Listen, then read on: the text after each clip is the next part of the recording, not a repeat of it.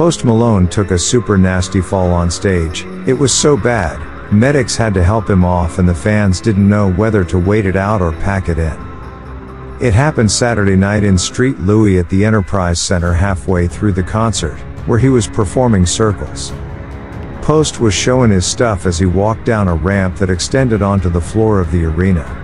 It would have gone fine, but there was a hole in the floor that he used to lower his guitar and it hadn't been covered up. He stepped in it and took an awful fall, sprawled out on the concert floor. An eyewitness tells TMZ one of his legs was shaking uncontrollably. Medics rushed in and eventually flanked him as he left the stage.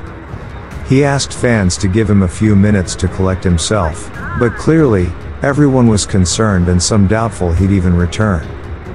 15 minutes later, Post resurfaced and performed Rockstar and Cooped Up.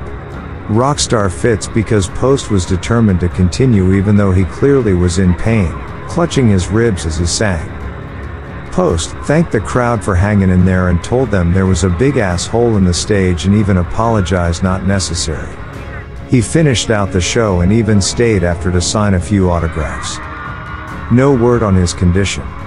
But he's scheduled to continue his 12 carat tour in Columbus Sunday.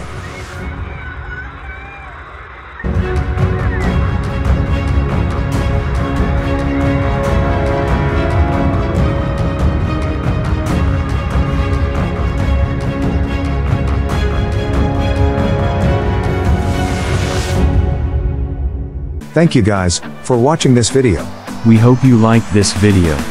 If you want to suggest us any topic, please comment below in comment box. Don't forget to subscribe our channel and press the bell icon.